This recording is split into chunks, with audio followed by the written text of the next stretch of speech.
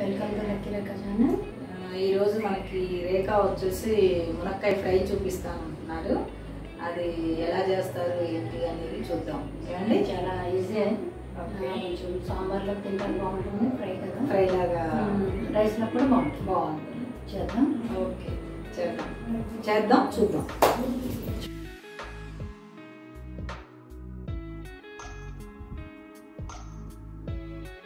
Okay రేఖ. Start చేద్దామా? ములక్కాయలు తీసుకోవాలి. మరీ ముదిరి కాకుండా మరీ లేత కాకుండా తీసుకోవాలి. కొంచెం నీళ్ళల్లో ఉడకబెట్టుకోవాలి. ఒక ఐదు పది నిమిషాలు కొద్దిగా మెత్తబడాలన్నమాట. ముక్క మెత్తబడాలి. మరీ పేస్ట్ అవ్వకూడదు. మాదిరిగా పొట్టు తీయకుండా అలాగే? పొట్టు తీయకూడదు.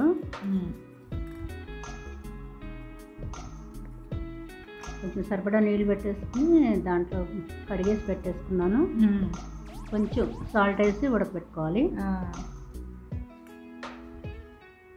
ఈ లోపల మనం వేరుశనగ గుళ్ళు వేయించుకుందాం ఇది ఉడికే లోపల అలాగే మూత పెట్టేసి పెట్టేసుకుని అది సిమ్లో పెట్టేసి కొంచెం వేడెక్కాక సిమ్లో పెట్టేయాలి. ఇప్పుడు వేరుశనగ గుళ్ళు వేయించేసుకున్నాను. వేయించి ఉంటే ఏమైనా వాడుకోవచ్చు. పొట్టు తీసేసుకోవాలి. ఈ లోపల మనం?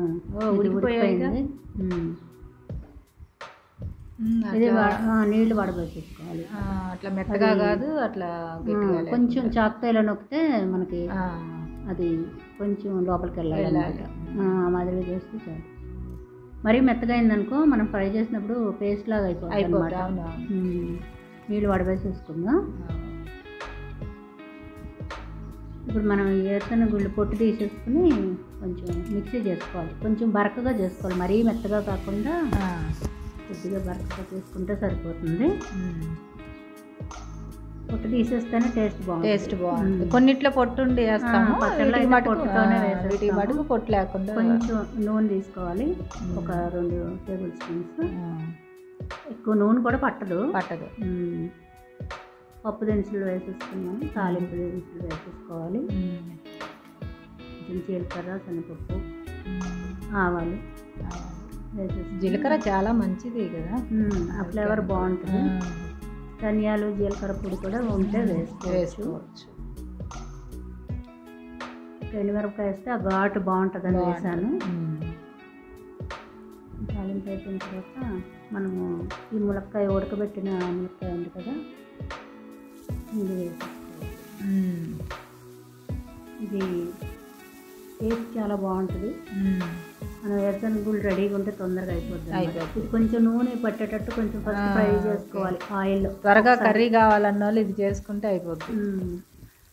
ఇది ఒట్టిగా కూడా తింటే బాగుంటుంది అనమాట. ఇలా కొంచెం ఆయిల్ పట్టేటట్టు మనం ఫ్రై చేసుకోవాలి. కొంచెం ఆయిల్ పట్టిన తర్వాత అప్పుడు పొడి మనం మిక్సీ చేసుకున్నాం కదా కొంచెం గరుగ్గా చేసుకోవాలి మరీ. మెత్తగా కాకుండా పంటికి తగులుతుంటే. టేస్ట్ పొడి పొడిగా. ఆ. మ్మ్. మరి మె- గట్టిగా తిప్పామనుకో అవును ముద్దలాగా లాగా ముద్దలాగా.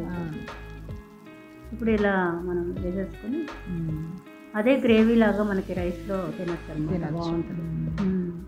సరిపడా ఉప్పు కారం. వేసేసుకున్నాం. ఆ పొడి అంతా ముక్కకు బాగా పట్టేస్తుంది పడుతుంది కారం. పప్పు కదా కొంచెం వేరుశనగ పప్పు కదా కొంచెం కారం పడుతుంది పడుతుంది. ఎందుకంటే దాంట్లో తీపి ఉంటుంది కదా. కొంచెం.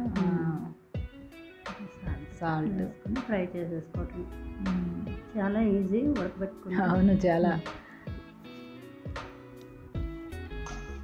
టేస్ట్ మటుకు చాలా బాగుంటుంది. ధనియాల పొడి వేసావా ధనియాల పొడి వేసావుగా మ్మ్, ధనియాలు జీలకర్ర పొడి నాకు ఎప్పుడు. ఉంటుంది ఫ్రై చేసి. పెట్టుకుంటాను. అది కొంచెం వేసేసాను అనమాట.